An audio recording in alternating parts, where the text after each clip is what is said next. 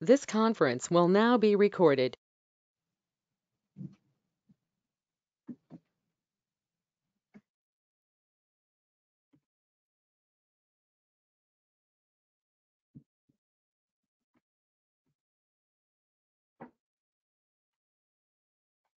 So the first portion of the presentation, I'm just going to turn my camera off so that it will flow a little bit better.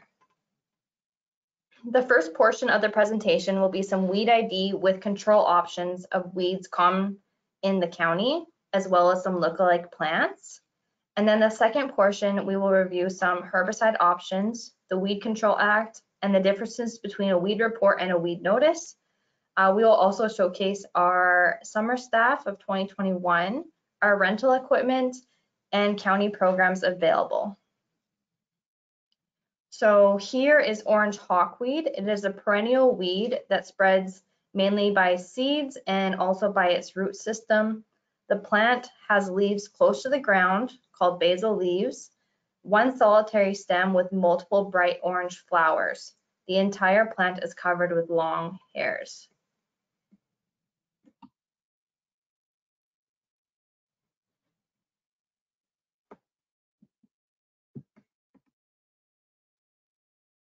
Meadow hawkweed is very similar to orange hawkweed, except it has bright yellow flowers, and the hairs on the flower tend to be a little bit darker.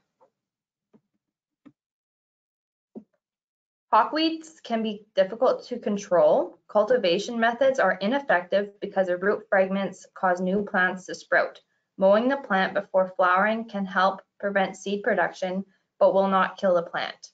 Hand digging can be effective, if all the root fragments are removed and Reclaim 2, Restore 2, and Navius are all registered for the use of hawkweed. Wild caraway. It is a biennial plant that has been elevated in Brazeau County as a prohibited noxious weed. It is common in pasture lands and have carrot-like leaves with small white flowers.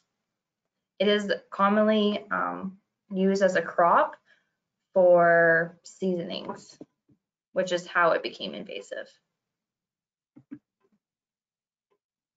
Repeated cultivation, cultivation can be effective if done before seeding.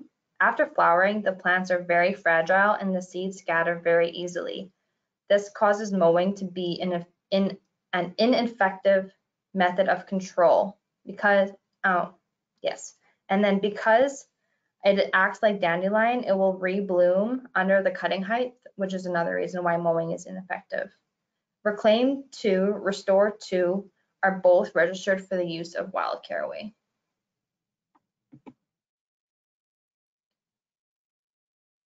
Kochia has recently been elevated in Brazeau County as a prohibited noxious weed. It is an annual plant that can mutate its seeds very easily and um, which becomes easily resistant to herbicides. Kochia in areas are resistant to group 2 and group 4 herbicides. One kochia plant can produce up to 25,000 seeds. In the fall, the plant dies and becomes a tumbleweed, spreading its seeds everywhere.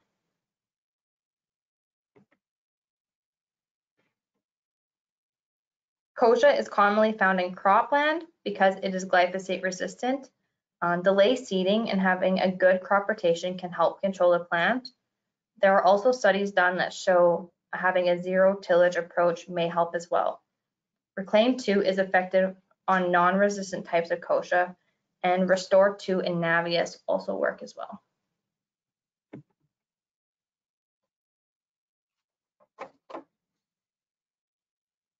Tall buttercup is a perennial weed that has deeply lobed leaves and produces a bright yellow, waxy looking flower that are really, really small.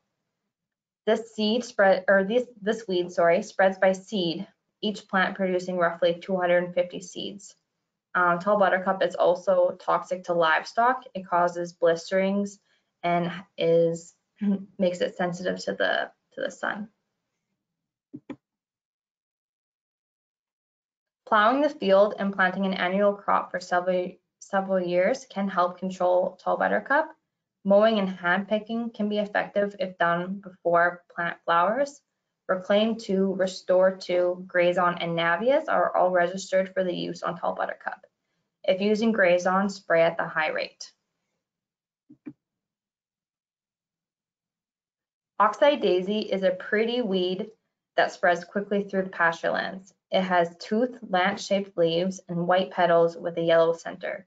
It reproduces via seed production and will die and grow back each year for several years.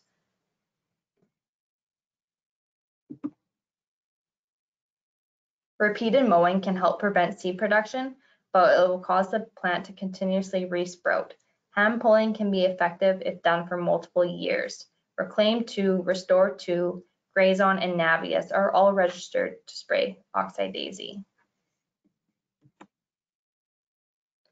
White cockle is a short-lived perennial. It is commonly found in hayfields and pastures. A lot of hayfield seed mixes have white cockle in them, so be careful when purchasing um, seed mix for, for your hayland. Flowers are white with five notched petals and a very fleshy looking calyx. Um, we have a native plant in this area called night flowering catchfly that looks almost identical, but you can tell the difference because uh, night flowering catchfly, if you touch if you touch the flower, it is uh, sticky, whereas white cockle is not.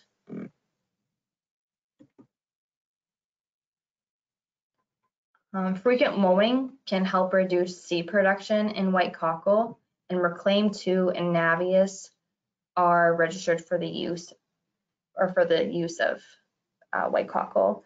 Um, cultivation is ineffective as it causes the new plants to be produced from the stems and the roots.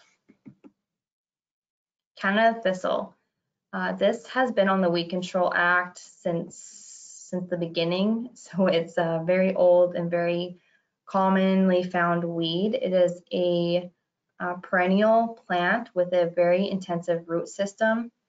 And um, because it can grow, it's invasive because it can grow almost anywhere. Has a very woody stem that branches at the top and the leaves have spines on them. Um, flowers can range from white, pink, or purple.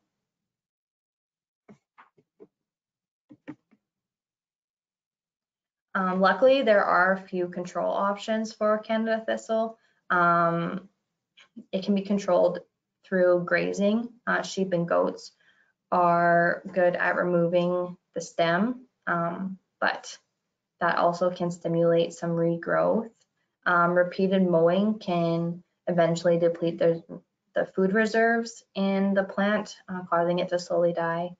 And hand pulling repeatedly can um, help with control by stressing out the, the root system. Uh, thistle weevils can also be effective in biological control of Canada thistle and reclaim 2 restore 2 and Grazon are all registered um, for, for thistle as well. Creeping bellflower. It is a perennial plant that reproduces by seeds and its intensive um, rhizomous root system. It prefers well-drained soils, but can survive in any um, sun condition. It's commonly found in um, towns or hamlets, um, in, in people's gardens or flower beds.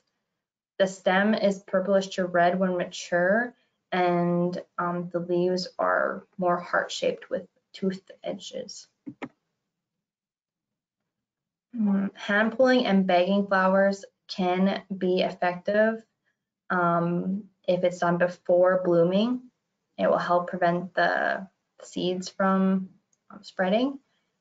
It is um, resistant to 2,4-D, but you can use dicamba to control creeping bellflower. So now we'll go through some lookalikes for um, some of the common weeds found in the county. So cow cockle and white cockle could be mistaken for each other. Uh, white cockle has a white flower, whereas cow cockle has a pink flower. Um, white cockle tends to be more hairy, whereas cow cockle is hairless. And as you can see in these photos, cow cockle has a ribbed calyx right here, whereas white cockle has more of like a fleshy looking calyx and white cockle will have multiple stems and flowers coming out of one plant, whereas cow cockle will have one single stem with multiple flowers. Oxeye daisy and Shasta daisy. Um, there is almost no difference between the two. Our rule of thumb is if it's spreading outside its um, designated area, then it is considered oxeye daisy and um, it is required to be controlled. If it's Shasta daisy, it won't, it won't spread at all. Wild caraway and common yarrow can sometimes be mistaken for each other. Um, they both have umbel shaped flower heads. Um, wild caraway has a true umbel, whereas uh, common yarrow's flower head is not, not a true umbel shape. Um, wild caraway can be hairless, whereas common yarrow has hairs found on it. Common yarrow's uh, leaves tend to be more feathery looking, whereas wild caraways have more of a carrot shape to them. The flowers on wild caraway have a green center, uh, whereas yarrow, the whole entire plant is uh, white. Yellow hawkweed and narrow leaves hawksbeard. So um, yellow hawkweed will just have one singular stem growing out from the plant. Its leaves will be um, basal and will have no leaves on the stem. And that plant is always very hairy and has hairs on the entire plant. Uh, narrow leaf hawksbeard is branched quite extensively. It will have leaves coming up the entire stem. There will be no hairs on it and it will look like a branched giant dandelion. Uh, giant hogweed and cow parsnip. Giant hogweed isn't on our Weed Control Act, but a lot of people are uh, concerned about. It's found, it hasn't been found in Alberta. Um, there has been some cases of it in BC, but it is commonly mistaken for cow parsnip, which is native to this area. So giant hogweed will have um, red spots on the stem of the plant, which you can see in this photo right here, along with some stiff bristles. Um, cow parsnip has no red spots. It does have some red in it, but no spots, and it has very soft fuzzy hairs. And another key feature between the two is giant hogweed will have these deeply lobed pointy leaves, whereas cow parsnips tend to be more softer edged and um, more round. Creeping bellflower and common bluebell. Common bluebell is a lot smaller plant, whereas creeping bellflower can get quite a bit taller. Uh, creeping bellflower, when mature, will have a red stem, whereas common bluebell uh, will always have a green, green stem. Um, the leaves on creeping bellflower are more heart-shaped, whereas um, bluebells are just, um, just lance-shaped. And it's hard to notice, but the flower stems on creeping bellflower are a lot shorter and the flowers are closer to the stem of the plant than on common harebell. And on common harebell, they'll they'll um, lower and hang a lot a lot lower on the, on the plant. So here's oh so do we have any questions? This is uh, we have completed the weed ID portion of the of the presentation.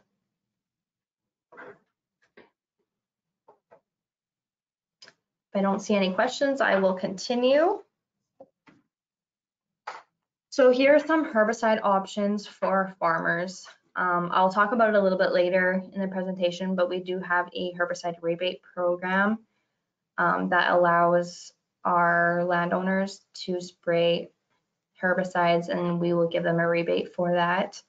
Um, we will accept Restore 2, Reclaim 2, Grazon, and Navius uh, for our farmers. And I have just included the rates for each. So Restore 2, uh, generally you apply it to, uh, 140 to 240 liters um, per hectare and 100 liters of total spray solution. That's supposed to say milliliters. My apologies. Um, Reclaim 2, uh, you apply it at 145 to 170 milliliters per hectare and 100 liters per hectare of total spray solution. Um, it does require to have a surfactant with that as well. Uh, Grazon, you apply at 2.47 to 2.67 liters per hectare in 100 to 200 liters per hectare of total spray volume. And Navius, we spray at 167 grams per hectare in 100 liters per hectare of total spray solution. Um, Navius also requires requires a surfactant. Um, if you have any questions about um, herbicides, feel free to give me a call or um, your local herbicide retailer, and we can help you figure out exactly um, how much herbicide you need and how to mix it and stuff like that. For our acreage owners, um, we allow them to spray for the herbicide rebate, allow them to spray 2,4-D and par 3. So for 2,4-D, you apply 4 liters per hectare and 100 to 300 liters per hectare of total spray solution. And for par 3, you apply 5.5 liters per hectare and 300 liters per hectare of water. I'm just going to quickly go over a little bit of the on the Weed Control Act. Um, anyone can access it on Google, and it actually is a really good resource um, to read through. It just kind of talks about what the Weed Control Act is, um, why we have inspectors, what our duties are, and things like that. So it's one of Alberta's oldest pieces of legislation. Um, it started in 1907. It um, designates the local authority, so Brazeau County. Um, it makes us responsible for administration and enforcement on the acts and regulations. It is initially implemented to protect agricultural production, but was updated in 2010 to also include natural and riparian areas. So in the Weed Control Act, uh, it states that landowners must control noxious weeds and they must destroy prohibited noxious weeds. I just want to quickly go over the difference between a weed report and a weed notice. Um, I find that a lot of our landowners call us concerned because they think that they got a weed notice, um, but it's actually just a weed report. So as a weed inspector, we are required to send out an inspection, um, an inspection report once we have completed an initial inspection on the property. So once an inspection is done, every person will get a, a weed report. It will be mailed out um, and it will include a letter and some fact sheets on the weeds that have been found. If no weeds are found, then we won't send a weed report. Um, weed notices are uh, sent out when the landowner is non-compliant. They will be mailed and hand or hand delivered and posted on um, the property. And they will also include a due date that the control needs to be done. After that due date, enforcement will be taken so here is on the left is what a, an inspection report will look like, and on the right is what a, a weed notice will look like. So um, they're quite different. Sometimes they have similar information, but a weed report will have a picture of the property, will have um, every inspection that has been done, as well as the landowner's information and it will normally say in the notes, it will have a description of exactly maybe where the weeds were found and the contact person or the inspector name so that you can contact them. And the, the photo will also include like a polygon, which will show you on the aerial photo where the weeds have been located. So the jobs of a weed inspector are to inspect, um, inspect public, private lands, and we also inspect all of our Brazeau County lands as well. Um, once they do that, they will complete a weed report. They will send a friendly letter um, and mail it to the to the landowner. They will also try to make if they have our contact information, they'll they'll give you a call or send you an email, and um, hopefully you can kind of make a plan with the weed inspector um, on doing some control on your property. Here are our weed inspectors for the summer. Um, each, our county is divided up into four areas, so each inspector has their own area. Um, three of them are returning, so you've probably seen them out and about before, and we have one, one new weed inspector, and we're really looking forward to the summer for sure. Uh, here are sprayer operators. Um, landowners probably don't deal with them too, too often. Um, we, one of them will have, will be in the spray truck um, spraying all of our roadside ditches. And then we'll, we have two operators that go around and um, do our hawkweed program and spray all of our county property if need be and um, do any spot spraying that is required. Um, here at Brazeau County, we have an extensive um, rental equipment program. Uh, we have a large variety of spray equipment that is available to rent. And if you have or are planning on spraying any noxious or prohibited noxious weeds, you are actually able to rent that equipment for free. So that's kind of nice. Um, if you are looking at renting any equipment, contact Amber. So we have a few county programs. Um, we have our no spray program, which people can apply for, and um, we won't spray their county ditches along their property. And then we also have our hawkweed program, uh, which individuals can apply for, and we will come out and spray any hawkweed found on their property um, up to five acres for free. And then we have our herbicide rebate program as well. So if you uh, buy some herbicide that are that's um, on the list. So uh, Grazon, Restore 2, Reclaim 2, Navius, or if you're an acreage owner and aren't able to access those herbicides, either 2,4-D or PAR 3 as well, then you can submit your the application um, and attach the receipt of your herbicide and we will give you a rebate of 50% up to $1,600.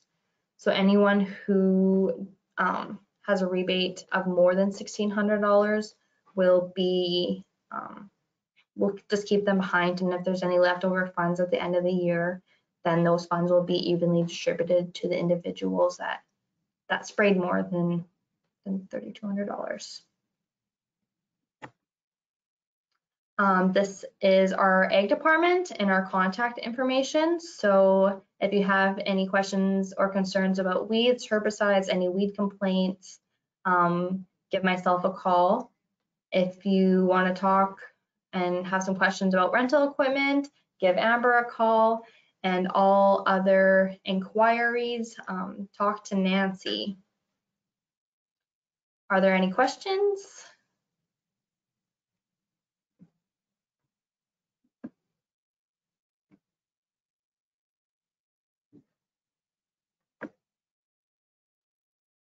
No? No one has any questions?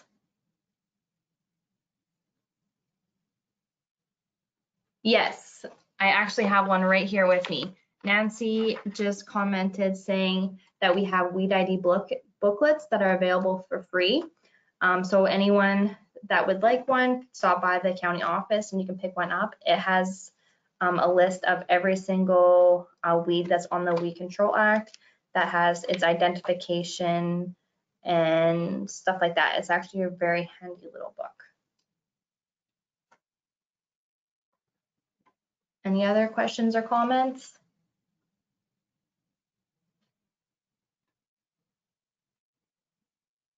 Okay, well, I just want to thank everyone for joining. I hope you all have a great day.